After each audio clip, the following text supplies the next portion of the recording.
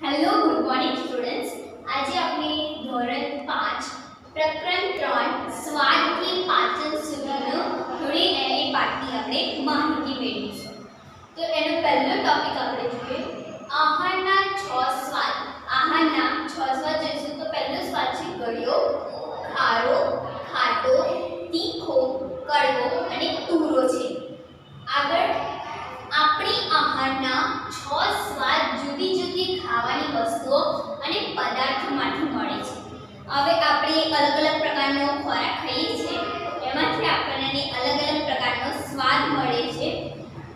ગળ્યો સ્વાદ આપણને શેરડી, ગોળ, સાકર, ખાંડ અને પાકા ફળમાંથી મળે છે. હવે જે આપણે ગળ્યો સ્વાદ આપણા ઘરમાં શેરડી, આપણે ઘરે શેરડી લાવતા હશે એ આપણે ખાઈએ તો આપણને ગળ્યો સ્વાદ આવે છે. પછી ગોળ, સાકર, ખાંડ. ખાંડ તો આપણા ઘરમાં હોતી જ હોય છે.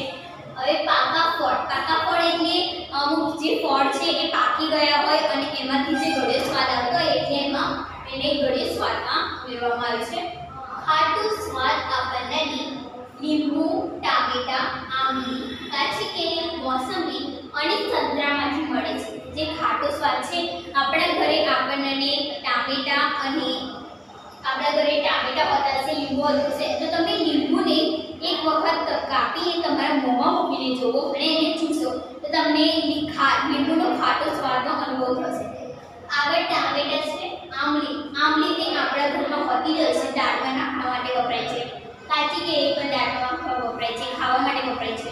આગળ, મોસંબી અને સંતરા. મોસંબી અને સંતરા એક ફળ છે, અને એનું તમે જ્યુસ નીકાળીને પીવો છો, એ પણ ખાટો જ હોય છે આગળ તીખો સ્વાદ આપણને મરચા, મરી, અજમો, તજ, લસણ, રાઈ લીંડી પીપર, લવિંગ અને આદુમાંથી મળે છે.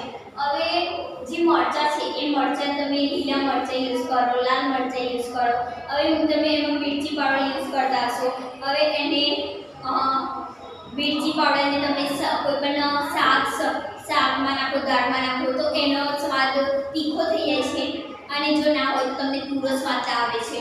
હવે આગળ છે મરી અને અજમો. હવે તમે મરી અને અજમો તો તમને ખબર જ હશે પણ તમને મરી અને તજ ના ખબર હોય તો તમારે મમ્મીને તમે પૂછીને એની ચર્ચા કરી શકો છો કે એ શું છે લસણ લસણ તો ખાવામાં હોય ના તો આપણને એ લ- ખાવાનું આપણને બિલકુલ ગમે ના આગળ છે રાઈ લીંડી પીપર લવિંગ આ રાઈ તો તમે અ, એ તમારા મસાલા મ- મરી મસાલાના તમે ડબ્બામાં જોઈ શકો છો તમને જોવા મળશે લીંડી પીપર લવિંગ લવિંગ એ તમે તમારા દાંતના દુખાવામાં યુઝ કરો છો. એટલે લવિંગ એ એક સારી એક દવા છે દાંતની. આદુમાંથી મળે છે. એ જે આદુ છે, એ પણ લસ્સી સાથે પીસીને તમે શાકમાં ઉમેરી ઉમેરી શકો છો. તુરનો સ્વાદ આપણને હળદર, કઠોળ, કેરીની ગોટલી, સોપારી વગેરેમાંથી મળે છે. હવે તુરનો સ્વાદ, હળદર તમે કોઈ વાર તમે ખાધી હશે, ચાખી હશે, તો તમને એકદમ તુરો એકદમ સ્વાદ આવે છે, એવો તુરો સ્વાદ કઠોળમાંથી હોય છે કેરીની ગોટલીમાંથી સોપારી વગેરેમાંથી મળે છે છઠ્ઠો પોઈન્ટ છે કડવો સ્વાદ આપણને મેથી કારેલા અને લીમડામાંથી મળે છે હવે કડવો સ્વાદ હવે તમને જે કારેલા તમે ખાધા જ હશે એમાંથી તમને કેવો સ્વાદ આવે છે કડવો આવે છે ને એટલે તમને કારેલાનું શાક ગમતું નથી આગળ મેથીમાંથી પણ મળે છે સ્વાદ અને લીમડામાંથી તો ખાસ જ મળે છે. આપણી આપણી જીભ દ્વારા આહારના જુદા જુદા સ્વાદ અનુભવીએ છીએ હવે આપણે આપણી જીભ દ્વારા અલગ અલગ સ્વાદ અનુભવીએ છીએ. હવે તમે કોઈ વખત મરચું મરચું ખાવ તો તમને તીખો સ્વાદ લાગે છે. કોઈ વખત તમે ખાંડ ખાવ તો તમને ગળે લાગે છે. એટલે અલગ અલગ તમે સ્વાદ અનુભવો છો. આગળ જીભનો આગળનો ભાગ સ્વાદ જીભનો વચ્ચેનો બાજુ ભાગ ખારો પછીનો ભાગ ખાટો સ્વાદ અને જીભનો. છેલ્લો ભાગ કડવો સ્વાદ સારી રીતે પારખે છે. હવે જે જીભનો તો પહેલો જે સ્વાદ છે, એ ગળ્યો સ્વાદ એટલે આપણે જે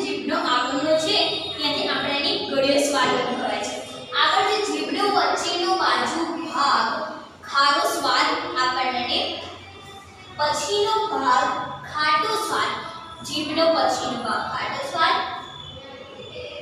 અને જીભનો છેલ્લો ભાગ કડવો સ્વાદ સારી રીતે ભરખે છે. હવે જીભનો જે છેલ્લો ભાગ હોય છે, એ કડવો સ્વાદ સારી રીતે પરખે છે. આપણા શરીરમાં ખોરાક પાચન મોથી શરૂ થાય છે. આપણા જે શરીરમાં આપણું જે શરીર છે, એમાં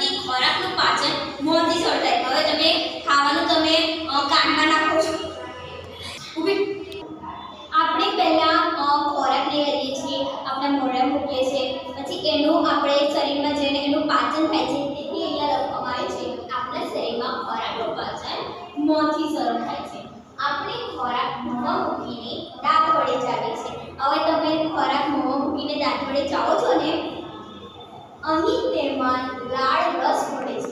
હવે તમારે જે મોની લાળ છે એ ખોરાક સાથે ભળે છે. લાળથી પોચો બનેલો ખોરાક અન્નનળી મારફતે જઠરમાં જાય છે. હવે જે તમે ખોરાક નાખો છો મોંમાં, એને તમે ચાવો છો. અને તમારે જે મોની લાળ છે એ ખોરાકને દાંત વડે ચાવેલા ખોરાક સાથે ભળી જાય છે. અને પછી એ પોચો બનેલો ખોરાક અન્નનળી મારફતે જઠરમાં જાય છે આ અન્નનળી અહીંયા આવેલી હોય છે, એના મારફતે એટલે એની એના એની સાથે એ જઠરમાં જાય છે. જઠરમાં ખોરાક ગલોવાય છે. જઠર આપણા જે જઠર છે પેટ શરીરમાં એમાં એ ગલોવાય છે ખોરાક. અને એનું પાચન થાય છે. અસ્તુ